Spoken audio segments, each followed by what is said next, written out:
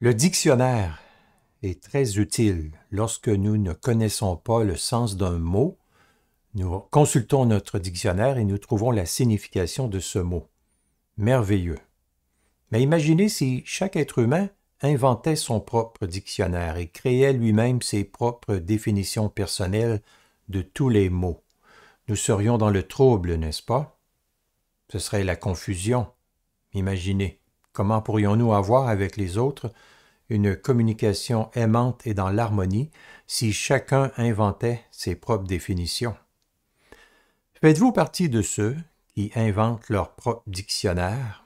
Ils sont nombreux de nos jours. Ils disent que ce qui est mal pour moi n'est pas nécessairement mal pour d'autres, ce qui est bien pour l'un n'est pas nécessairement bien pour l'autre. Ils disent c'est moi qui décide, je crois ce que je veux.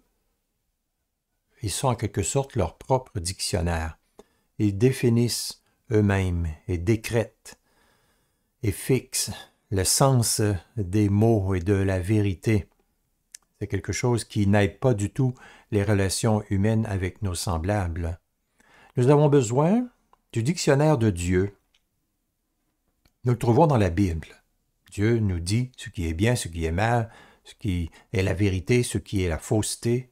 Nous avons besoin du dictionnaire de Dieu. C'est très important. Nous, nous sommes pécheurs, nous sommes inconstants. Nous, notre dictionnaire et nos définitions et notre façon de penser, c'est souvent déficient, pas digne de confiance.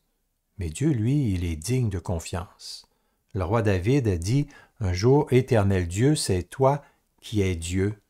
C'est toi qui as parlé, et tes paroles sont la vérité. Tes paroles sont la vérité.